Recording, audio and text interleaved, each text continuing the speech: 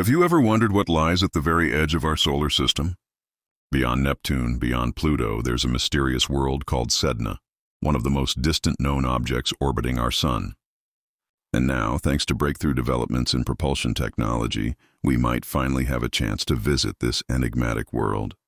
Sedna is fascinating because it's incredibly far away, so far that it takes over 11,000 years just to complete one orbit around the sun. That's why getting there has always seemed like an impossible dream. Traditional spacecraft engines would take decades, maybe even centuries, to reach it. But here's where things get exciting. Scientists and engineers are developing revolutionary new propulsion systems that could change everything.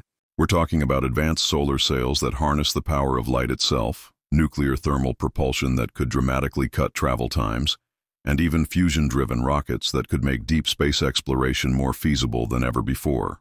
Imagine unfurling a massive, ultra-thin sail in space, as thin as a human hair but spanning the size of several football fields.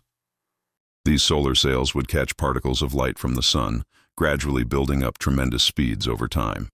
Unlike traditional rockets that burn all their fuel at the start, these new systems could provide continuous acceleration throughout the journey. What makes Sedna such a compelling target? Well, this distant world might hold crucial clues about the early solar system.